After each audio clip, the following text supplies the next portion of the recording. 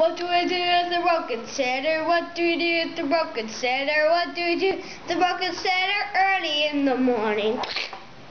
Wake up in the morning feeling like P. Diddy. Grab my glasses on at the door. I'm gonna head to city. Here's the real story. Once upon a time there were two men.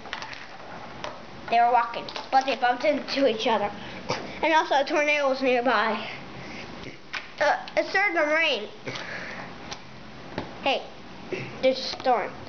Yeah, see. Let's go under a, a tornado shelter. The tornado is getting closer. Lightning struck right next to them.